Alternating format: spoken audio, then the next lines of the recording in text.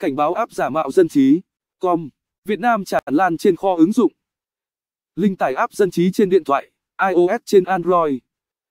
Thời gian gần đây, ngày càng xuất hiện nhiều ứng dụng tin tức giả mạo các tờ báo lớn trên kho ứng dụng di động, nhằm mục đích thu hút bạn đọc khỏi những ứng dụng nguyên bản.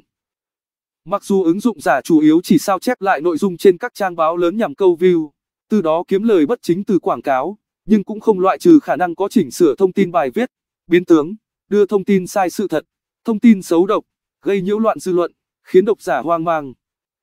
Theo ghi nhận, những ứng dụng này rất dễ gây nhầm lẫn và khó phân biệt, vì chúng thường sử dụng màu sắc và ký tự gần giống với logo của tờ báo, thí dụ như màu xanh lục và chữ D của báo Dân trí, để đánh lừa bạn đọc.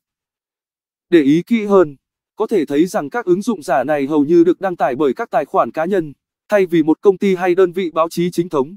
Tuy nhiên, chúng vẫn có được thứ hạng đánh giá cao từ nhà cung cấp nền tảng, cùng số lượt tải về lên tới hàng trăm, hàng ngàn, tức là đã có không ít người dùng bị đánh lừa bởi các ứng dụng như vậy. Riêng đối với dân trí, com, Việt Nam đã có từ 2, 3 ứng dụng giả mạo tên tờ báo để thu lợi với mục đích cá nhân. Cần tải app xịn, tránh thông tin nhiễu loạn sai sự thật.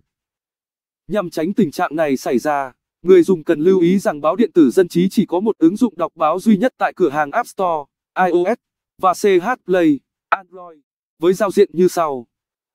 Ứng dụng dân trí cho phép người dùng theo dõi các nội dung trên trang báo chính thức của dân trí, com Việt Nam một cách tiện lợi và dễ dàng hơn chỉ bằng một vài thao tác đơn giản. Việc chuyển qua lại giữa các chuyên mục của tờ báo cũng dễ dàng hơn so với sử dụng trên các trình duyệt web Chrome, Safari. Sau ít phút cài đặt, ứng dụng dân trí sẽ được kết nối với cơ sở dữ liệu và cập nhật theo cơ chế real tham các nội dung từ trang dân trí. Com Việt Nam. Đây là ứng dụng chính thức và hoàn toàn miễn phí để tải về và sử dụng.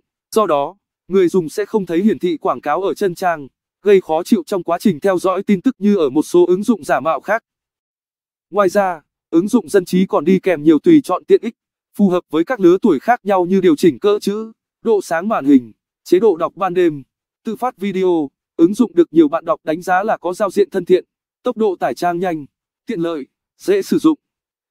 Link chính thức tải app dân trí trên điện thoại, iOS trên Android. Nguyễn Nguyễn